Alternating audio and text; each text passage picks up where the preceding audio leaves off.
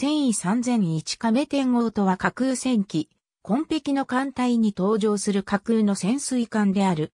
後世、西名県や東エルサレム共和国、そして満州共和国に移り住んだ各物理学者たちの英知により、第二次世界大戦末期に実用化されたトリウム用有使用型原子炉を動力として用いる電磁推進試験潜水艦。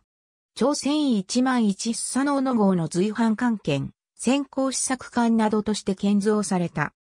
設計当初は核融合炉搭載が検討されていたが戦局に間に合わなかったため、急遽実用化が叶ったトリウム用有使用型核反応炉を搭載することとなった。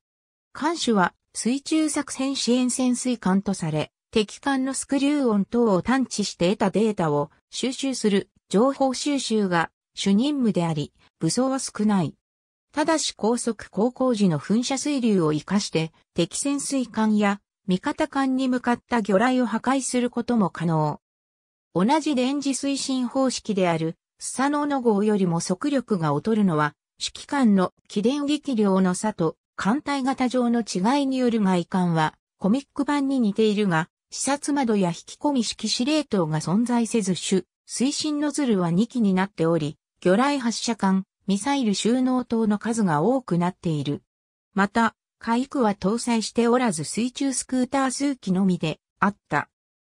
トリウム用有使用型原子炉技術詳細第2次、対戦終結の照らしは25年半ばから第3次、対戦開戦の照らしは28年初頭まで、約4年弱の偽りの平和の間に、紺壁艦隊全艦も回収に入り、主機と推進機関を亀天号と同一機器に換装した。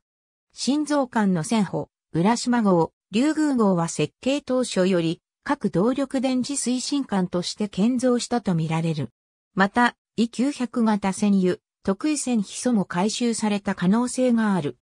原作では、日本海軍唯一の核融合動力艦新極実の艦隊コミック版にて、南極大陸に建設された毒秘密原爆開発施設破壊のため、核動力艦である特異型潜水輸送艦が登場するが、波氷揚陸作業可能な本艦が引き込み式環境になっていた。ありがとうございます。